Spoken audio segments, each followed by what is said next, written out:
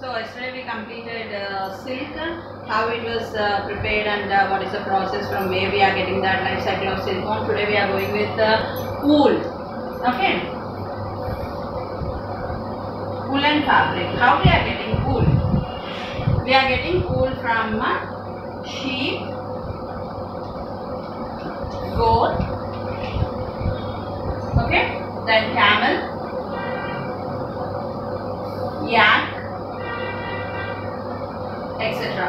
From these uh, we are getting the wool. Wool we are getting from sheep, goat, camel and yak.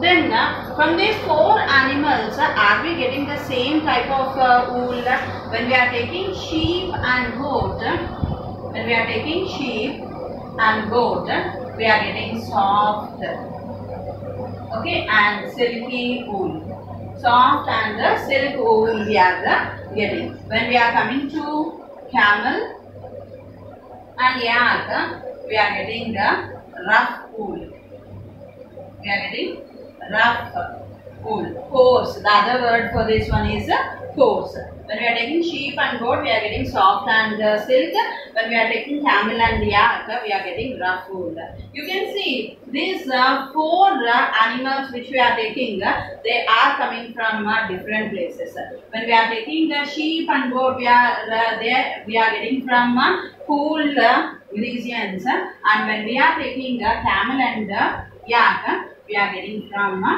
hot regions when we are taking sheep and goat from uh, cool regions uh, and when we are taking camel and yak from uh, hot regions. So this one uh, which we are getting from cool regions this sheep and goat we will get wool soft and silky. When we are taking camel and uh, it is from rough place hot regions so it will be coarse and rough. Where we will get these kashmir? Okay then rajasthan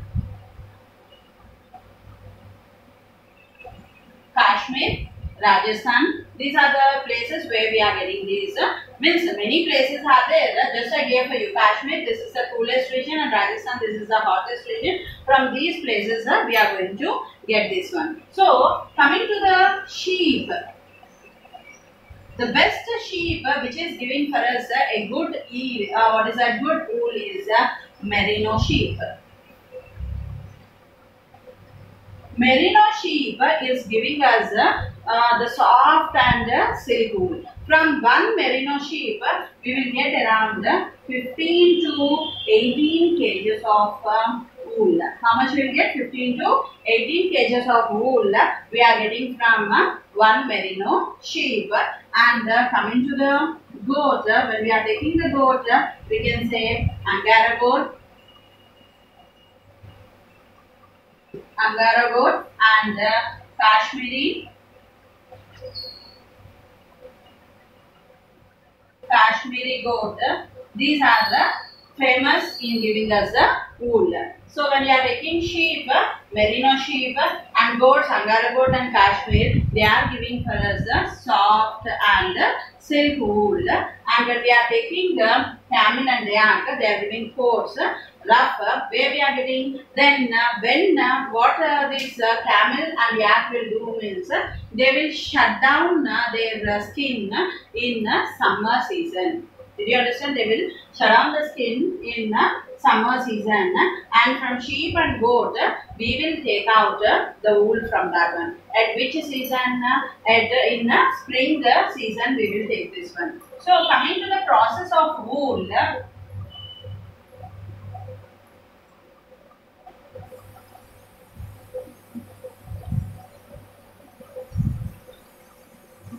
Coming to the process of wool, the first one is uh, shearing. Second one is uh, scoring. Third one is uh, sorting. Fourth one is uh, bleaching. Fifth one is uh, dyeing. Sorry. Fifth one is uh, foaming. Or the other name for this one is uh, carding. Combing or carding. Next one is uh, bleaching. The next one is uh, dyeing. Next, rolling and twisting.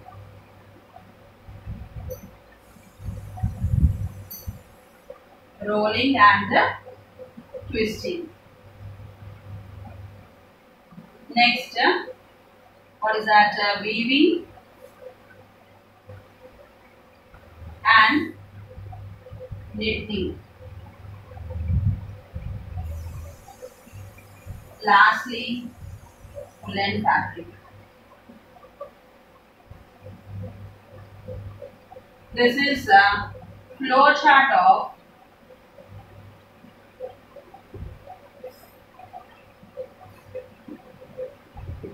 this is flow chart of a wool which is very very important. See how the process of wool is taken from the sheep is the first one shearing, scoring, sorting, bleaching, combing or carding, then combing or uh, carding, next uh, dyeing, okay, next uh, uh, combing or padding. next dyeing, rolling and twisting, weaving and knitting and finally we will get the woolen fabric. This flow chart is very very important. So coming to the first point, what is the shearing? We told that the sheep and the goat we are getting from the cool regions. So at uh, which season means uh, here spring season. In spring season, what the people will do? We know that in our uh, house, our father, how he will uh, shave his uh, beard, we will observe. In the same way, what they will do for this sheep means they will apply whole body of the goat or sheep, they will apply grease to that. Okay, oily substance, grease they will apply and they will slowly remove the wool from. Means uh, as how they will shave, you will see now in the home. In the same way here also, they will uh, remove the wool uh, from the sheep. Uh, that is uh, that process. The removing of wool from the sheep is only called as uh, shearing. At which season it will happen? It will happen in spring season. In spring season, the people will remove the wool from the sheep. The process of removing wool from the sheep is only called as shearing. Okay, there what they will do? They will apply grease to this uh, to this uh, sheep because it should not get uh, harm. And in spring season, what will happen means uh, the temperature also will be less, uh, so the sheep can survive there. In normal times, what will happen there? The temperature will be very cool, so this wool will protect them from that particular temperature. Next one is scoring. What is scoring? Uh, here, uh, we are, whatever wool we got, uh, that one is what uh, with uh, oil. So what they will do with grease? They will take this all wool and uh, a um, tubs will be there like this. Water tubs will be there. In this water tubs, they will keep this wool and clean that. They'll keep the wool in this water tubs. Scoring means cleaning of the wool. Cleaning of wool in water is called as a scoring. Cleaning of wool in water is called as a scoring. So here you can see that uh, what will happen, they will remove all the grease from this, this one. Then after that, what is sorting? They will uh, take uh, one table like this, a long table they will take and with the, after scoring, this all will, wool will be placed here and they will, uh, what is that, keep uh, fans here. For what purpose? To dry them.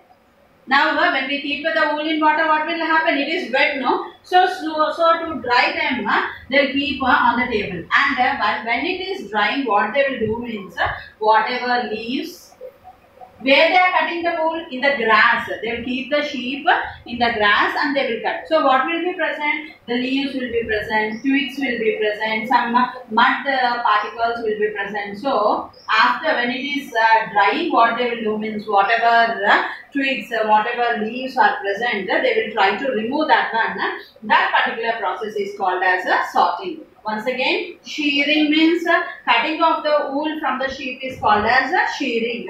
Scoring. Scoring means cleaning of the wool is called as uh, scoring. Sc- sorting. After cleaning, uh, when they are drying the wool, uh, whatever waste particles are present in that one, uh, they will remove the leaves and the twigs. uh, This is called as a sorting. Next one is uh, bleaching. Means uh, adding the chemicals, strong chemicals in uh, water, detergent they will add, okay, and strong chemicals they will add, and again they will dip this wool in that one. For what purpose?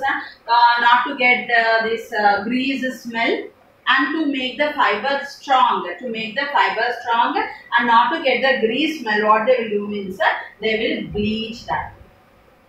The fourth process is bleaching. Next one is combing or carding. We will have a wooden, uh, wooden uh, stick like this and on this uh, here uh, the nails will be present. Here a wooden stick will be there and nails will be present. We will comb our hair no? For what purpose we will comb our hair? Any knots are there, any knots are present in our hair that will be removed by combing.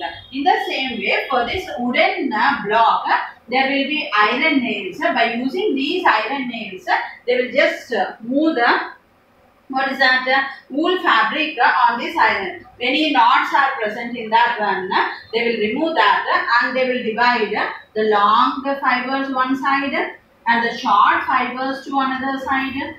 Means according to size wise they will see the length of that one and according to that long fibers to one side uh, medium fibers to another side and short fibers to another side combing is used to make the fabric uh, smooth without having any knots.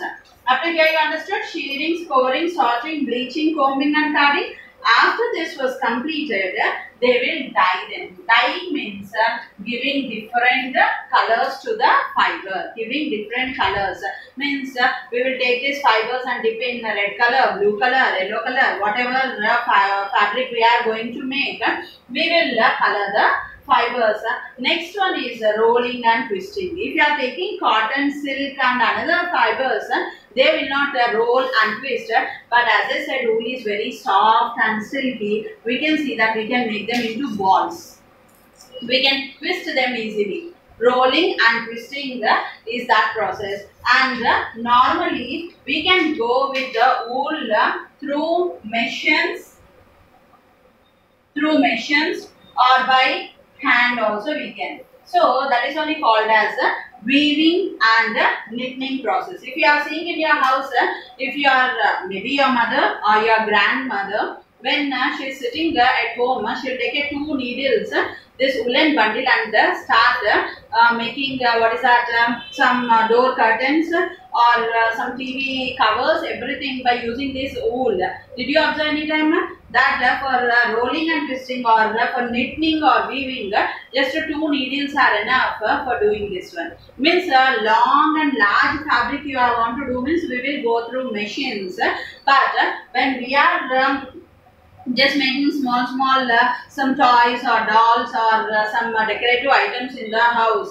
You can see that. You can ask for your mother or uh, grandparents about the needles uh, how the needles will be there and how we have to how we can uh, twist and weave this uh, woolen fabric uh, you can see there weaving and uh, knitting process will be taking place uh. here uh, we will use machines and uh, hands and finally we will go with the woolen and finally after weaving and knitting we will get the woolen fabric. This is very very important shearing scoring sorting bleaching combing and carding uh, dyeing rolling twisting weaving uh, knit, weaving and knitting and woolen fabric. This is uh, the process how the wool is obtained from the fabrics. Uh, and uh, in your textbook uh, as we went uh, for the silk exhibition uh, after silk exhibition you can enter into the woolen exhibition. How the exhibition will be means very interesting. Read from the textbook. Uh, a big goat will be there or a big sheep will be there.